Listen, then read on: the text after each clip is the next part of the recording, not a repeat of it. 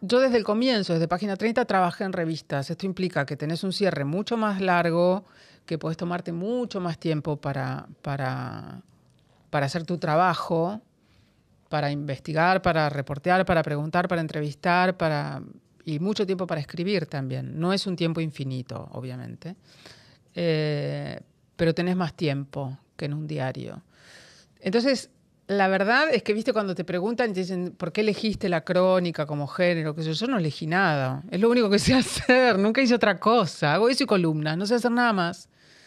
Eh, entonces, bueno, soy como una especie de... Sería como un médico especializado en curarte o operarte la, ¿no? la articulación del hombro izquierdo solo a personas que tienen 30 años. Oh, pero es que es una hiperespecialización. Es interesante eso, como para vos, la crónica, ahora sí, ya, ya esto ya no es algo impuesto, es con conocimiento de causa. Hmm. Es eh, como género. Hmm. Es, medio la intersección entre el periodismo y la literatura. O sea, está medio una. Eh, o yo lo percibo un poco de frontera cuando he leído crónica, ¿viste? Porque es como hmm. un periodismo, también tiene algo medio de. Mm, puede tener matices de algo de recontra diario personal también, como una. Vos contás esa propia historia eh, o algo que te pasa, ¿viste? Eh, no, sé, ¿para vos qué es ese género?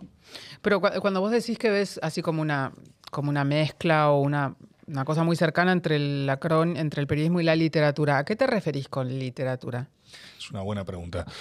Eh, a ver, si vamos a, por ejemplo, Caparrós, ¿no? Vos decís, o sea, Caparrós fue como fuente de esa formación para vos, claro, Sí, sí, otros más, pero él sin dudas. Y capaz es como el más, no sé si es eh, padre de la crónica argentina o no.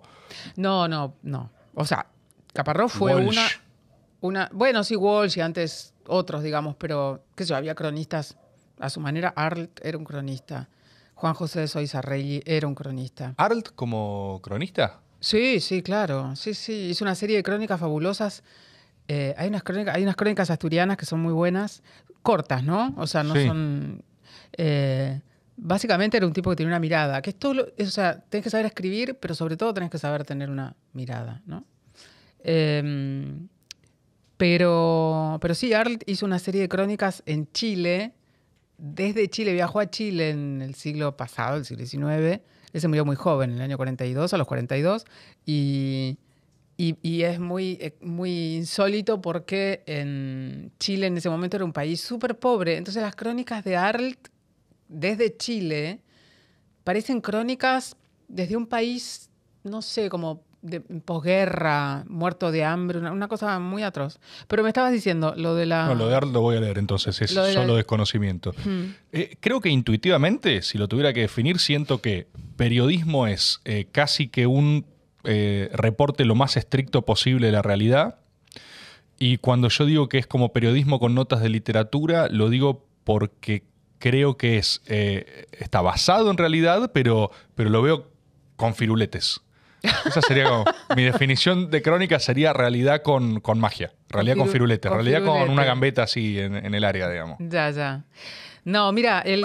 no. No, me gusta, me gusta. Realidad con firuletes es algo que voy a empezar a, decir en los talleres. En realidad yo digo todo lo contrario. Yo siempre digo que el periodismo narrativo, la crónica, no es periodismo con adornos. Es periodismo. lo contrario, literalmente.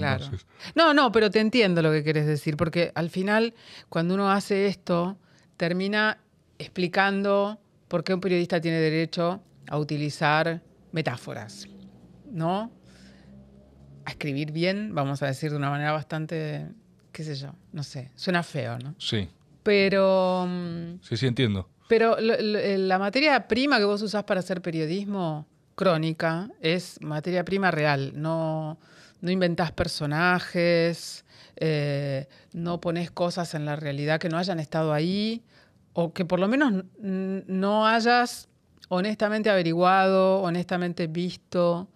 Esto está muy lejos de la idea em, desinfectada que la gente tiene del periodismo y de esta idea de que el periodismo tiene que ser como objetivo, que es un cuento chino, nunca puede ser objetivo porque desde el momento en que hay una persona escribiéndolo y no IA, nuestra querida IA, le mandamos un besito, eh, hay, una subjetividad. Eh, y la verdad es que las grandes crónicas son muy subjetivas, no en términos de decir yo, yo, yo todo el tiempo, sino en términos de que hay una mirada muy potente. Eh, Caparrós dice yo, hace un yo muy explícito. Yo escribo muy pocas veces en primera persona las crónicas.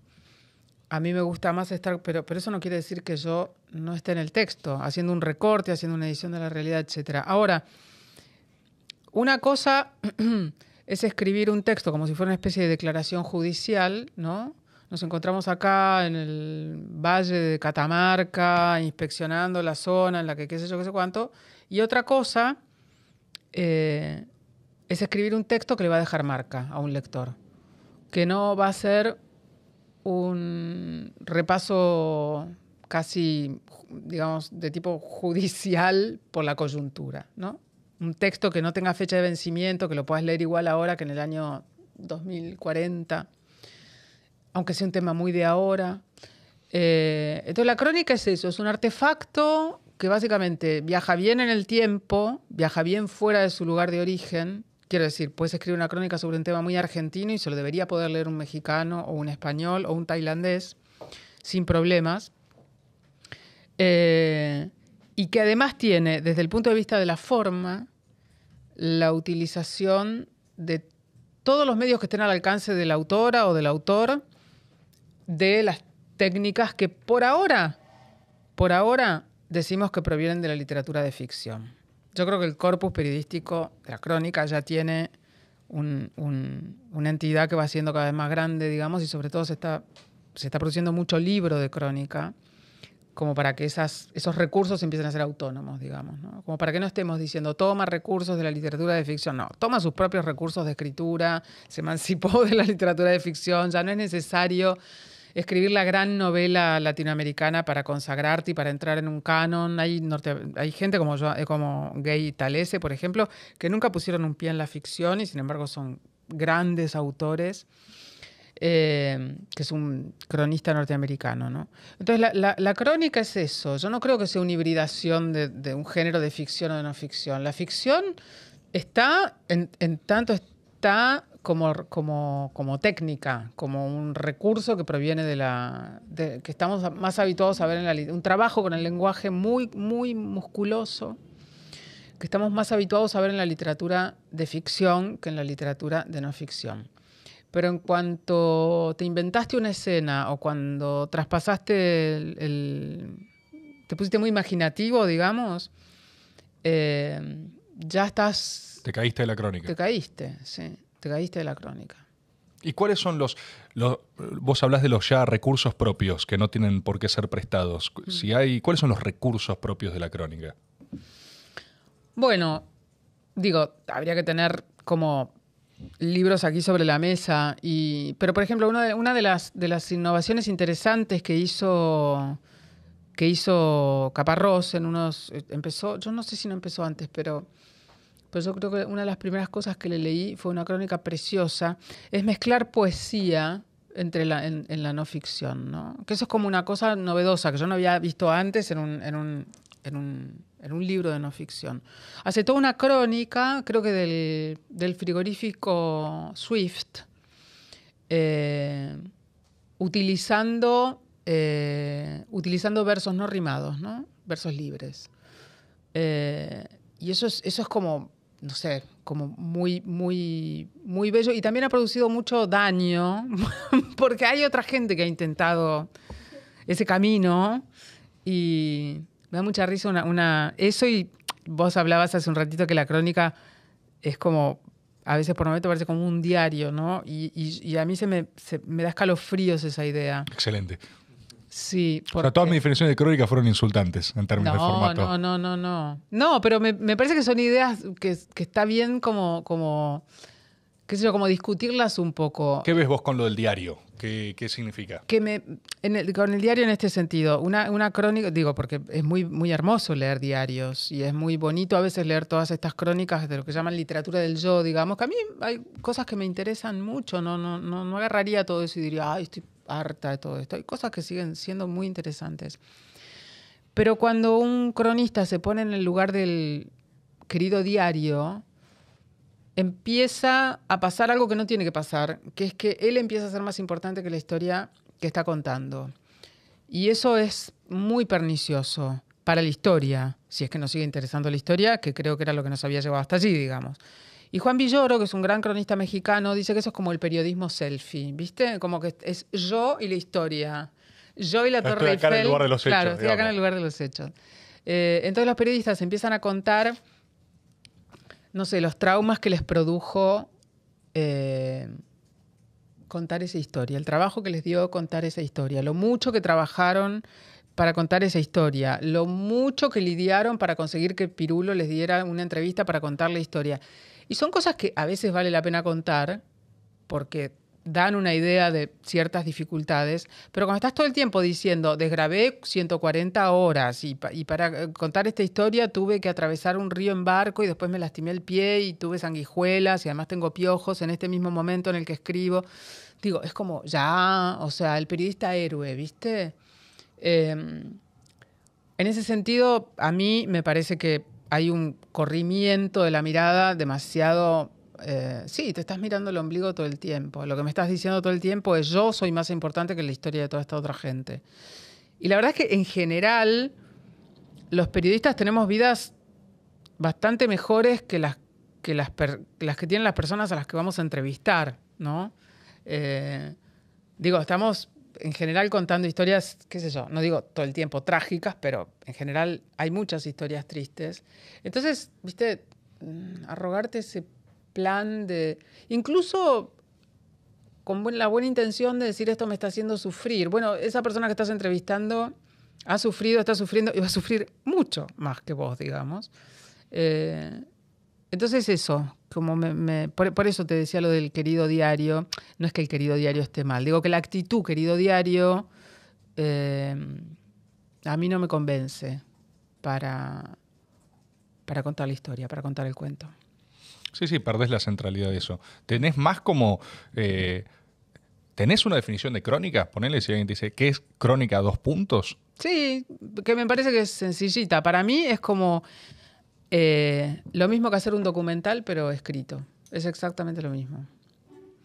Un cronista hace las mismas operaciones que un documentalista. El documentalista en principio trabaja con la materia prima de la realidad, ¿no? Digo, no, no, está inventando. Eh, un cronista hace lo mismo. Un documentalista hace un plan de rodaje, el cronista hace lo mismo, hace un plan de entrevistas. El documentalista recoge como si fuera una especie de cazador-recolector un montón de escenas y situaciones y seguramente muchas más de las que va a poder eh, poner en el montaje final. Porque si solo se conforma con, no sé, rodar, no sé, poner los 120 minutos o los 60 minutos del documental, se va a tener que conformar con, con lo poco que tiene.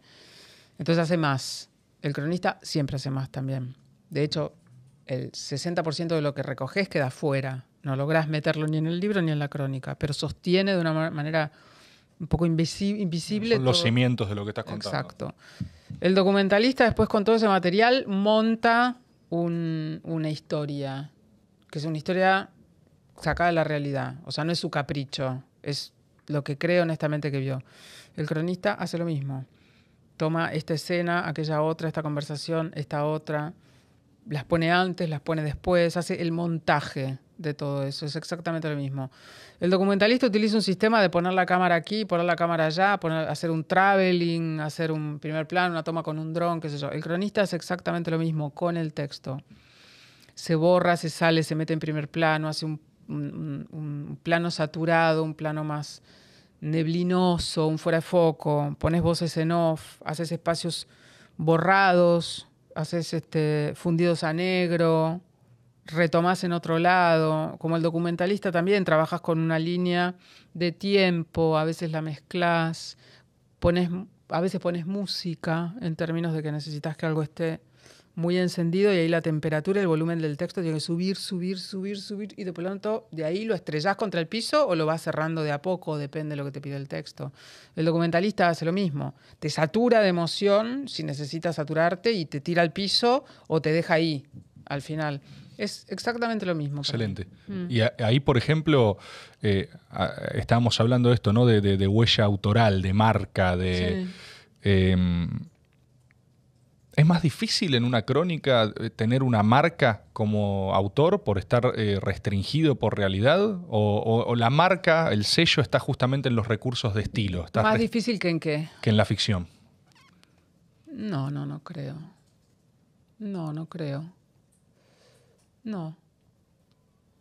No, también, también es verdad, digo que no, no creo que, o sea, la mejor manera de no llegar a tener un estilo y de no llegar a ser nunca como no, dejar una marca es tener tanta voluntad de tener un estilo que realmente eso termine transformándose, sí, en una especie de, de, parálisis o de bobera, ¿no? Como, quiero un estilo, entonces. No, no, para nada. Digo, incluso hay autores que trabajan en los dos campos, como Joan Didion, por ejemplo. No conozco. Es una cronista y escritora norteamericana que murió hace un año y medio, creo. Y ella trabaja como en, las, dos betas y el estilo de la ficción yo lo encuentro bien distinto al estilo de, su no ficción. Mira. Una tipa como elegante y refinada siempre. Em, pero pero no, no, a mí me gusta mucho más la no ficción que la ficción de ella.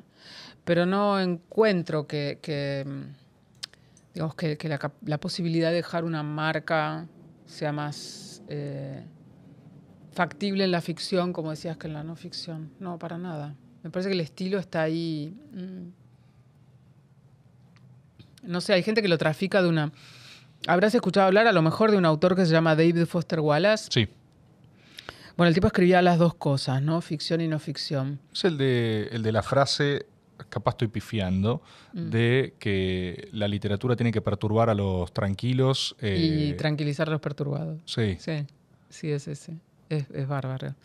Eh, bueno, él, escribía, digo escribía porque se suicidó en 2008, pero um, escribía ficción y no ficción, ¿no?